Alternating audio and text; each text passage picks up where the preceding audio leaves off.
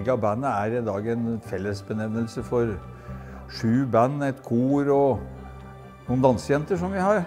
Og vi øver eh, ukentlig. Vi har holdt på i, siden 1990. Til sammen 70 medlemmer i alle disse gruppene. Mellom 12 og 14 konserter i året. Alt er basert på glede. Det skal være moro å være med i Megabandet.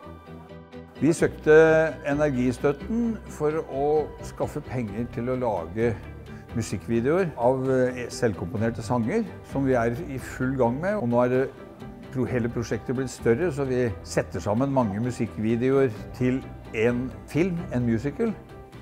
Vi takker eh, Glitter Energi for eh, støtten, og håper dere kan følge med oss. Vi har hjemmeside megabandet.no, og vi er på Facebook.